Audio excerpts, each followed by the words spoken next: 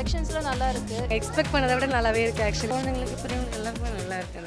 Velavan stores Usman road T Nagar Chennai மற்றும் Thoothukudi. Director Rajamouli இயக்கத்தில் வெளிவந்த சூப்பர் டூப்பர் ஹிட்டான படம் தான் Baahubali one and Baahubali two இந்த படத்துல நடித்த ஆக்டர் பிரபாஸ் அனுஷ்கா தமன்னா சத்யராஜ் ரம்யா கிருஷ்ணன் போன்ற எல்லாருமே அவங்களோட கதாபாத்திரத்தை ரொம்பவே அற்புதமா நடிச்சிருக்காங்கன்னே சொல்லலாம். மேலும் இந்த படம் மிகப்பெரிய பட்ஜெட்ல எடுக்கப்பட்டது. அது மட்டும் இல்லாம இந்த படத்தோட மேக்ஸிமம் சீன்ஸ் எல்லாமே சிஜிஐ அண்ட் விஎஃப்எக்ஸ் மூலியமா தான் எடுக்கப்பட்டது. அண்ட் ஆக்ட்ரஸ் அனுஷ்கா பாகுபலி படத்தை நடிக்கிறதுக்கு முன்னாடி அவங்க சை ஜீரோ என்ற படத்துல நடிக்கிறதுக்காக கமிட் ஆயிருந்தாங்க. அந்த படத்துல நடிக்கிறதுக்காக அனுஷ்கா அவர்கள் உடல் எடையை அதிகமாக வச்சுருந்தாங்களாம். ஆனால் பாகுபலி படத்தில் நடிக்கிறதுக்காக அனுஷ்கா அவர்கள் உடல் இடையை கம்மி பண்ணி ரொம்பவே ஃபிட்டாக நடித்த மாதிரி சொல்லிட்டு இருந்தாங்க படத்தில் வர சண்டை காட்சிகளை சிஜிஐ அண்ட் விஎஃப்எக்ஸ் மூலியமாக காமிச்சா பரவாயில்லைங்க. ஆனால் இவங்களையே ஃபிட்டாக காட்டுறதுக்காக சிஜிஐ அண்ட் விஎஃப்எக்ஸ் போன்ற தொழில்நுட்பங்களை பயன்படுத்தி ரொம்பவே ஃபிட்டாக காமிச்சிருக்காங்க.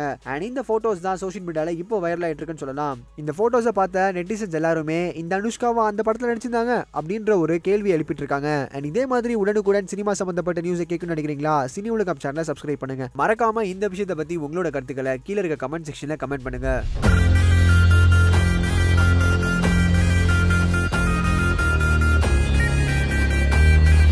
ஜுவல்லர்ஸ் சூப்பரான ப்ரைஸ் கொடுக்குறாங்க. நல்ல கலெக்ஷன்